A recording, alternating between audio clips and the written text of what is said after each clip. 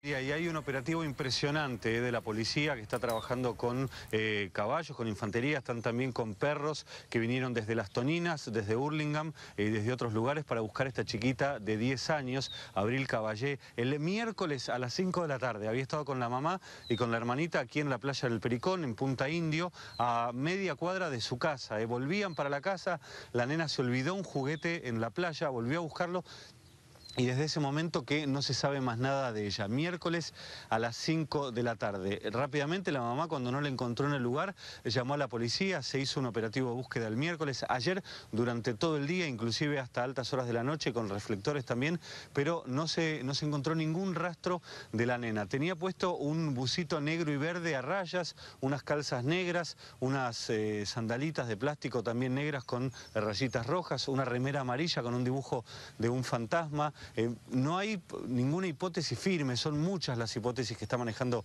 la justicia de, La Plata en este lugar, eh, desde algún inconveniente familiar hasta que la chica se haya ido con alguna persona, conocido o desconocido también, eh, inclusive lamentablemente que le haya pasado algo, la estuvieron buscando ayer y hoy con buzos tácticos de la prefectura, no la encontraron tampoco en las aguas del río de la Plata, bueno, es una búsqueda desesperante, contrarreloj la que se está haciendo, piden llamar al 911 por cualquier información que se tenga de esta chiquita. Abril Caballé, 10 años, la última vez que la vieron fue el miércoles a las 5 de la tarde. Estaba acá con la mamá y con la hermanita en la playa. Cuando volvieron de la playa para la casa, que está a media cuadra del lugar, eh, la nena volvió a la playa porque se había olvidado un juguete y ese fue el último momento en que la mamá tuvo contacto con ella. Vamos a, a repasar entonces este último momento, José. Estaba con la mamá y con su hermanita, fueron a la playa qué tenía puesto, a qué hora fue. Vamos a reconstruir un poquito esta última parte.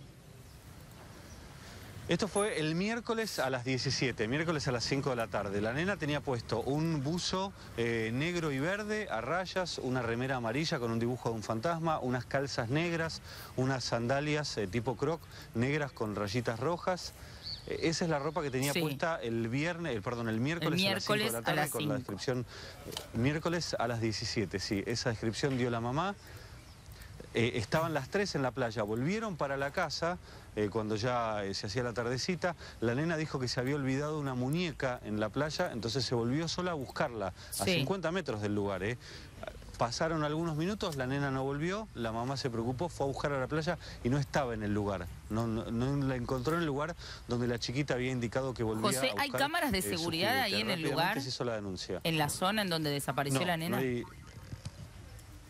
No, no hay cámaras de seguridad en esa zona. Hay un balneario, el balneario El Picaflor, que lo, conocen todos como el balneario El Pericón, porque es la calle que desemboca allí en el río eh, de la Plata, pero no, no tienen cámara de seguridad ni en el lugar ni tampoco en el barrio. Claro, entonces es, es muy difícil entender y saber qué, qué, es lo que pasó. ¿Y qué te dijo la mamá, la nena, cómo estaba? ¿Pudiste hablar con ella? Eh, todavía no pudimos hablar con la familia, están con contención eh, psicológica, eh, la mamá está con, los abuelos de la nena también, con la, con la nena chiquita.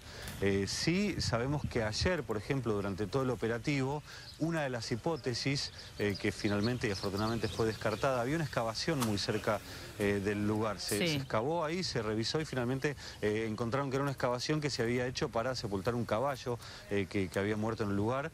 se encontraron únicamente con eso, pero son muchísimas las hipótesis. Claro, eh, por eso, dentro de las hipótesis. Una persona conocida, te preguntaba, desconocida. Claro, te preguntaba si ella estaba bien, cómo estaba, porque tal vez hasta se pudo haber ido con alguien eh, eh, por, por voluntad propia, digamos.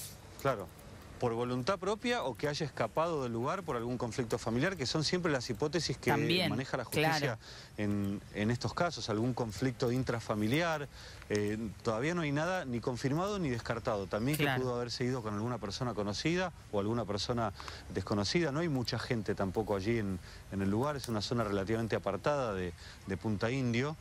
Eh, y si no, bueno, que, le haya pasado, eh, que haya tenido algún inconveniente de salud. Esa es una zona, es una playa, está muy cercana al, río, a metros del, río y a, pocos metros a la redonda, nosotros ahora estamos en la comisaría de Verónica, cabecera del partido, pero a pocos metros a la redonda de ahí es todo descampado, eh, con lo cual también se pudo haber perdido en, en la zona de los campos. ¿José tenía teléfono, la nena? No, no, no no, no tenía teléfono. Es una zona además con muy mala señal de, telefonía celular.